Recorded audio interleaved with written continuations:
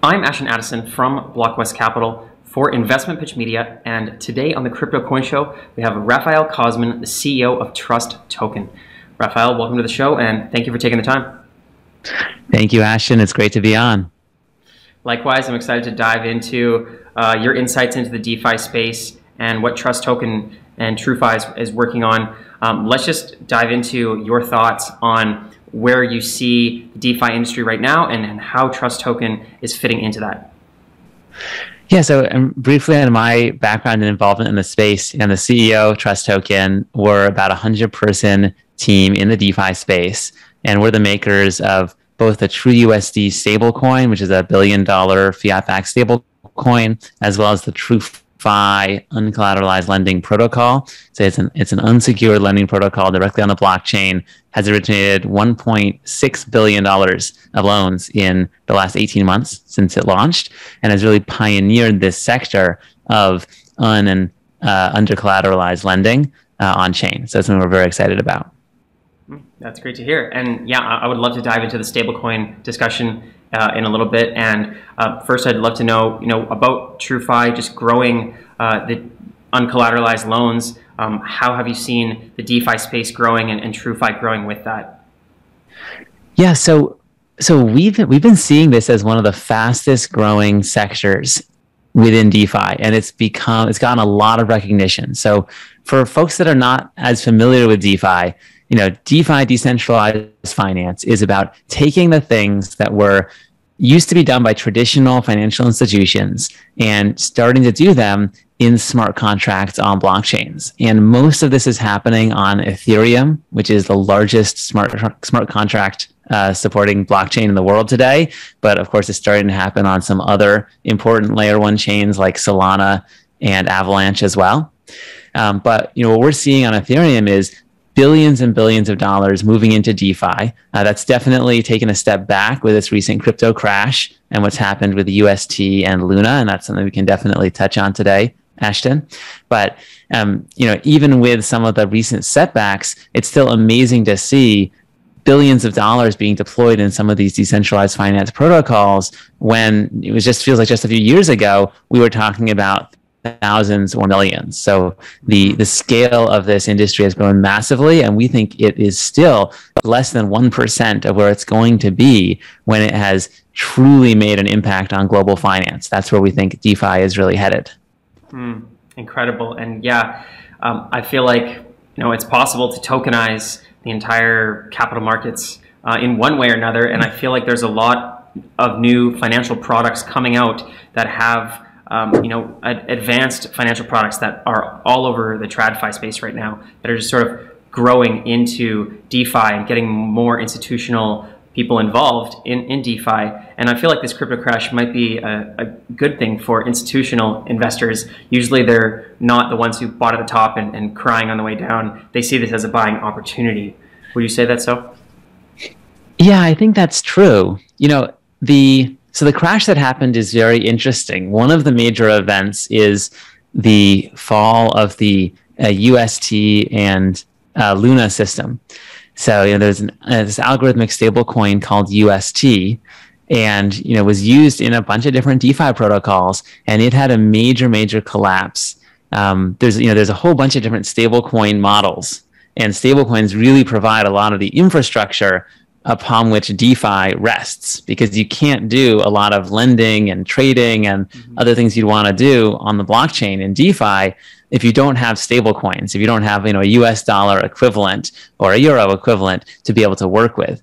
And so that was one of one of the major pieces of this recent crash was um, the fall of this stablecoin called UST, which was an algorithmically backed stablecoin. So it was redeemable only for Luna, which is another very volatile cryptocurrency. And you can, of course, see why that could become a problem. Once people start redeeming it for the Luna, then, then they sell that Luna.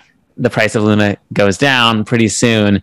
Uh, there's very, very little backing billions and billions of dollars of what people thought were stable coins.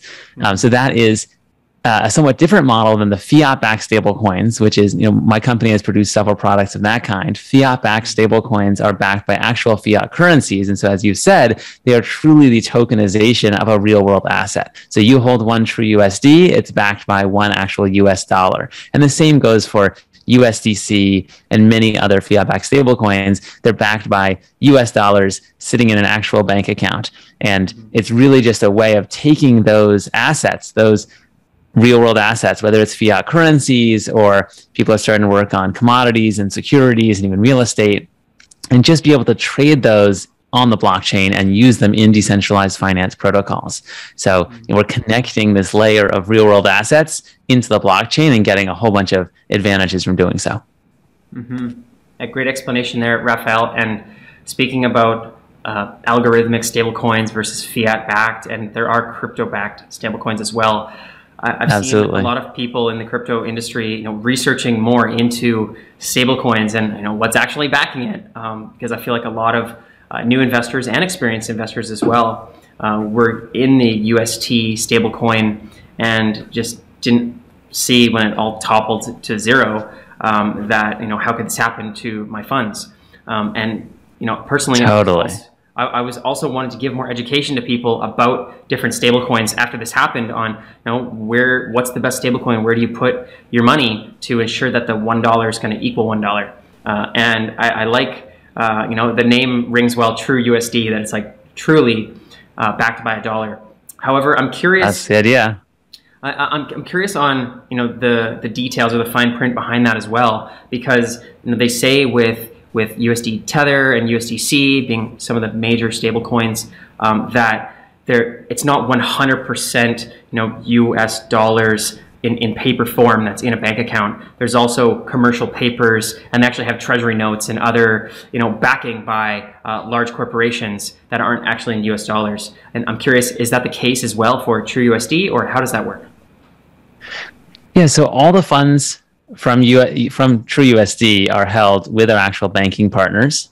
Um, now, you know what you're describing is a complex question because, you know, in modern accounting, you know, when people say cash and cash equivalents, you know, they'll include things like treasury bonds, uh, which of course, you know, are not truly completely risk-free, but are very close.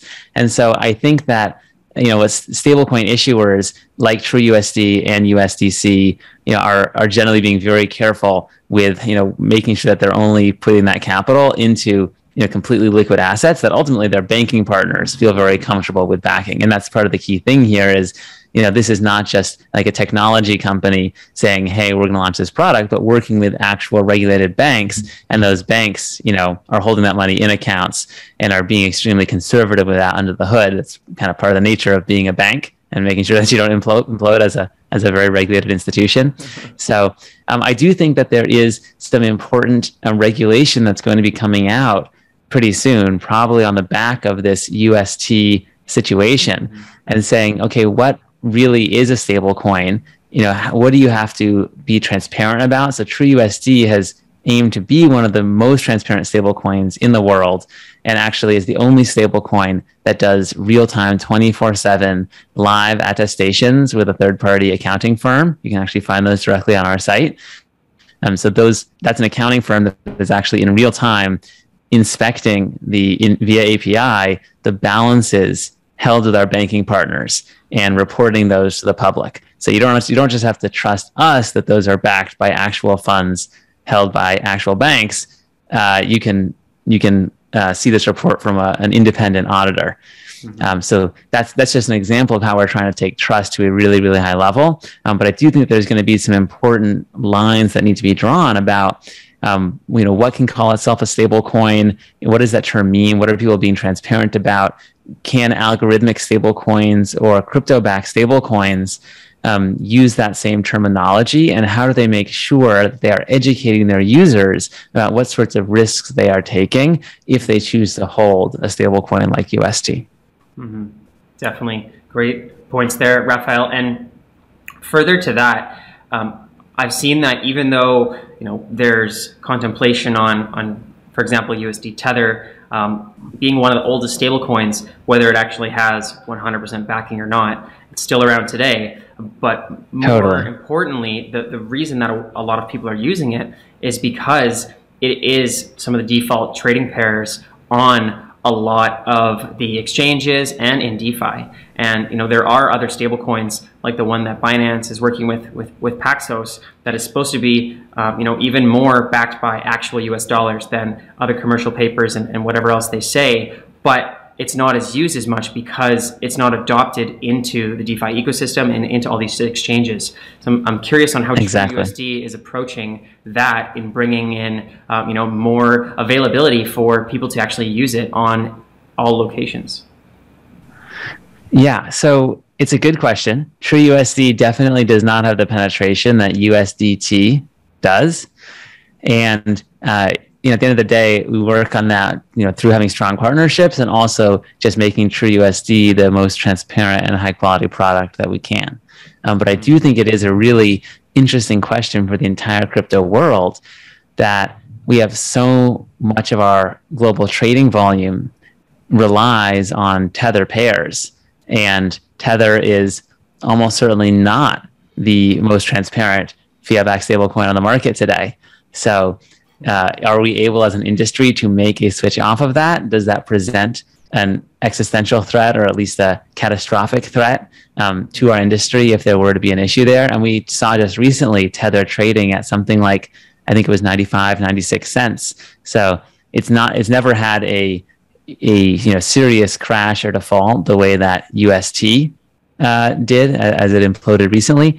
Um, but Tether definitely has been shaky at times in a way that many other fiat stablecoins such as TrueUSD and USDC have not. Mm-hmm. Good point, Rafael. And I, I, would love to jump back to you know the overall DeFi space, and I guess taking an analogy from the UST Luna uh, you know debacle on yeah. how a lot of people are sort of even borrowing and, and, using UST and then having to sell it, and then because of that, um, it's sort of a cascading effect. Um, in, in DeFi overall, you know, there's there's people staking and they're liquid staking and they're able to, you know, that I've seen the memes about people are able to borrow from here and then stake here, but then that gives you another token that allows you to stake over here, uh-huh. and then that gives you another token that allows you to stake over here, and you know, with the percentage of collateral um, if there's any of those volatile assets that go down, then there can be like a margin call that sort of cascades through a bunch of different assets. Um, and I'm curious on your take on, on the DeFi space and, and how risky it is for, you know, when Bitcoin crashes and, and altcoins crash even more and people are using those in DeFi, um, if there's a cascading effect, it seems like altcoins are, are much more volatile than Bitcoin. They seem to crash a lot. Good question. So, Ashton, there are definitely some very valid concerns about how reliant DeFi is on some of these volatile cryptocurrencies. And that's part of why at Trust Token, we've tried to build products like TrueUSD and like TrueFi, our lending protocol, that do not depend upon the success or failure or any of the of any of these volatile cryptocurrencies. So actually, if I could just show you a brief run through and and how that works. Yeah, so, sure. Um, so TrueFi is our protocol for uncollateralized lending on the blockchain, and uh, we've got a whole bunch of different lending portfolios, some of which just went live as recently as last week, and present some great uh, lending opportunities for uh, any any folks that are interested in participating. So, uh, if users are looking to deploy capital, um, please definitely consider uh, what we've got going here.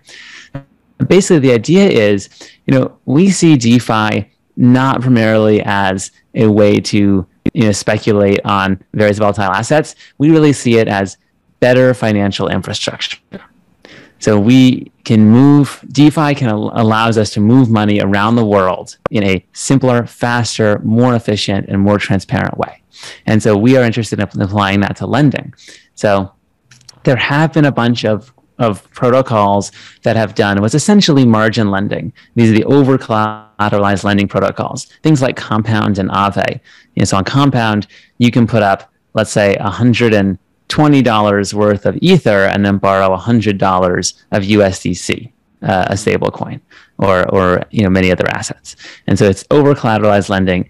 Compound does not need to have any um, professional asset managers or underwriting on the platform because they're always holding you know 120% or 150% you know very significant amount of collateral that they can liquidate if someone doesn't repay their loan mm-hmm. that was kind of a first generation of defi protocols compound Aave, some of these other models um, what TrueFi and some other more recent protocols that have come out are doing is taking the next step and saying, okay, can we bring actual underwriting onto the blockchain and have lending pools that are pursuing interesting, differentiated lending strategies and leveraging the advantages that DeFi presents? So, just as an example here, um, so here's here's a portfolio that we recently ran. Um, it's now it's now full um, was very successful. And this is a portfolio that we ran with Alameda Research, where you can go through a KYC process on our website, um, deposit USDC into this portfolio, um, and then it will deploy capital directly with Alameda Research, which is one of the top names, one of the most legit trading firms in the in the crypto space. Mm-hmm. And um, you know, it's making these loans at eight percent APY. There's some TRU incentive tokens, that's the governance token of the protocol, that are added on top of that for a total uh, ROI of 9.94 right now. Mm-hmm. And um, that's what you get as a lender. So, what's interesting about this is this is an interesting lending opportunity. It's differentiated. It's not something that you're going to find on a Vanguard or on a, uh, wherever your uh, you know, wealth management platform is.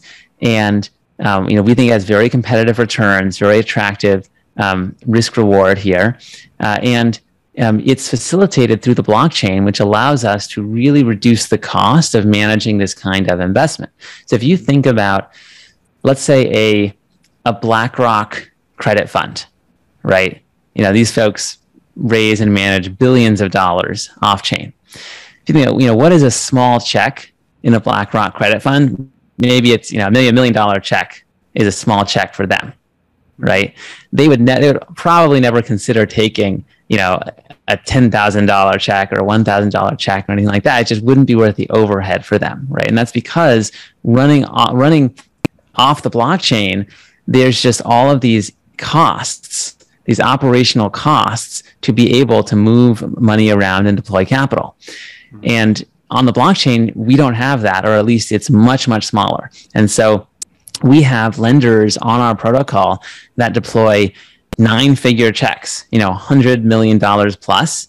And we have people that deploy $100 and everything in between. And that is part of the power and the flexibility of this kind of technology. And some of our some of our portfolios that are liquid, you could actually deploy capital and decide that 15 seconds later in the next Ethereum block, you want to pull that capital out.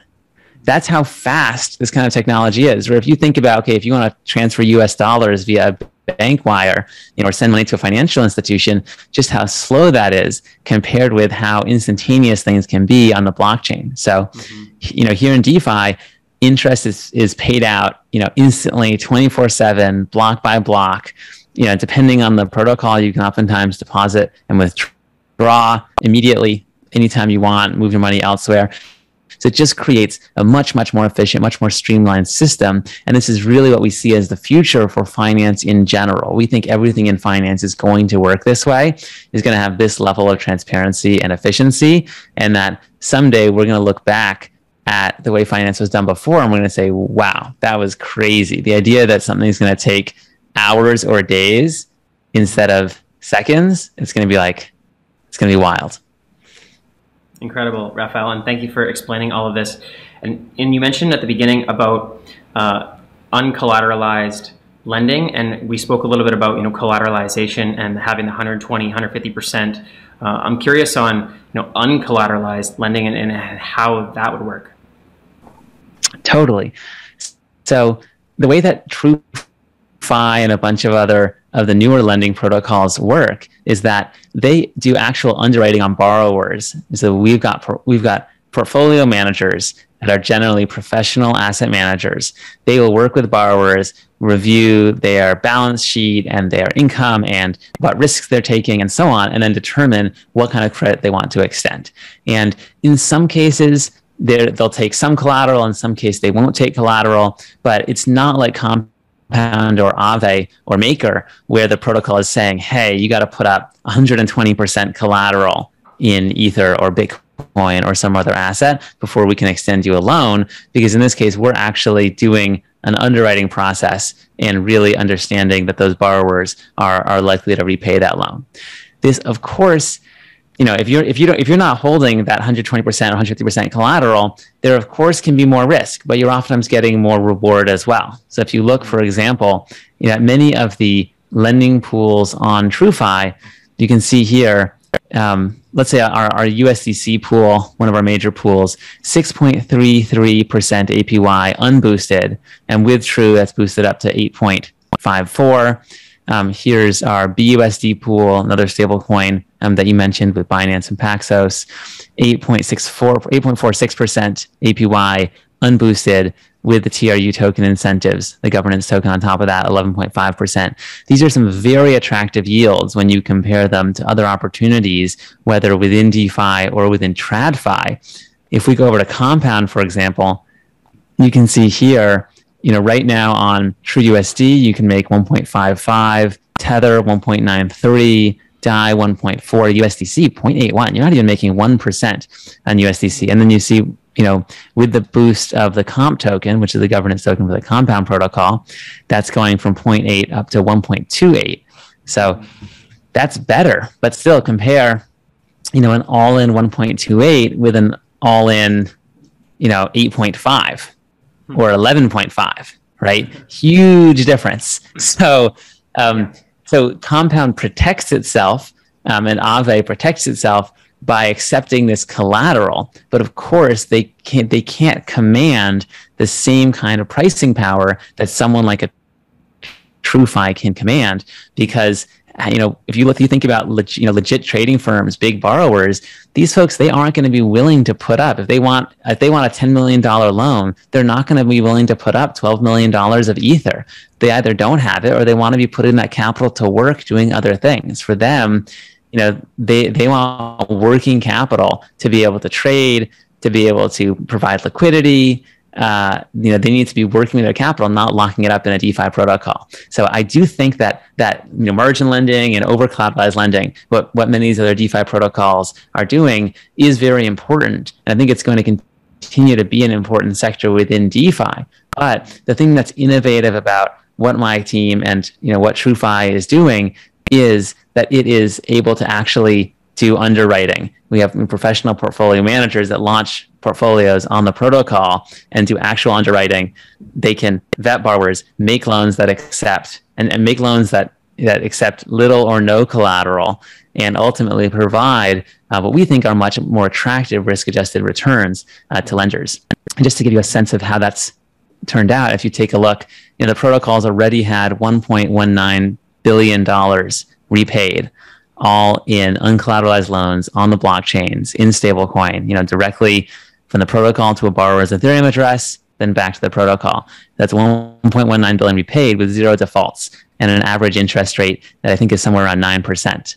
So that's pretty attractive. And so, you know, we think this model has a long way to scale, orders of magnitude to scale before we'll really be impacting how lending works globally. Uh, at the same time, we feel like it is it's already proven itself as a model that you know this can work. Uh, we can do lending on the blockchain. We can do it in real size, and it can provide very attractive returns. Mm-hmm. Incredible, Rafael, and thank you for showing those differences. And you know, we don't have a lot of time left, but you know, we talked about how uh, DeFi is really just like less than one percent of what you think and we think it will be, um, and that this is poised to scale. Um, how do you position Trust Token moving forward to be the number one go-to DeFi platform um, as all of this capital comes in and hopefully you know 100% of the capital markets become move into DeFi? Good question. Well, for us, a lot of it is about just continuing to execute well, you know, we're very focused on this un and under collateralized lending use case. We think it's a giant market and that, you know, a simple, well built protocol that is being thoughtful about risk, being very thoughtful about smart contract security, being thoughtful about regulatory and legal risk, you know, that, that a protocol that kind can absolutely win this. So that, that's where we're looking to position ourselves. Um, just to give you a sense, we actually just, um, our company Trust Token just signed a very big partnership with a, a major broker dealer in this space to be able to do compliant securities issuance in the United States. So that is part of how you know we have our core uncollateralized lending protocol. That's a piece of open source technology that anyone can use. But then on top of that, we're looking to build the entire institutional platform, everything that more traditional financial technology and TradFi companies are going to want to be able to use this kind of DeFi protocol because a lot of these folks are not going to be just downloading MetaMask and you know depositing some stable coins or borrowing some stable coins from a protocol they're going to want a lot more than that in terms of security in terms of regulation in terms of licensing in terms of additional software for auditing and management. And so that's a lot of what we're working on in addition to developing the core protocol is what do we need to build on top of that to really bring in the next 10 billion, 100 billion, trillion dollars that we think is going to come into DeFi and ultimately spur the the transition from DeFi being a niche area of asset management, a niche investment class, a niche tool for folks like you and me to have fun with, to really being something that changes how finance works around the world. Incredible, Rafael. And you're right. I think people are going to want a lot more information um, and, instead of just opening their MetaMask and, and jumping right in. And you know, with that said, how can the viewers learn more and follow along with all of the updates that your team is making at Trust Token and get involved? Good question. So please follow us on Twitter. I'm at Rafael Cosman, and um, our uh, company uh, is at Trust Token, and we also now have at TrueFi DAO for our protocols DAO. Um, if you go to truefi.io, just T R U E F I.io. We've got all the links there. We would love to have you join our Discord, have you join our forums. We've got a very engaged community that is setting up all different aspects of this protocol. And so, if this is something that you're excited about, if you are interested in building the next generation of DeFi protocols and how the future of lending is going to work, please come and get involved with us. We would love to have you. Thank you so much, Rafael, and I will leave those links in the description box below as well to make it easy for the viewers. I really appreciate all of your insights into the DeFi industry and wishing you the best on TrueFi and Trust Token, and let's follow up in the near future. That would be great. Thank you for having me on, Ashton. It was a pleasure.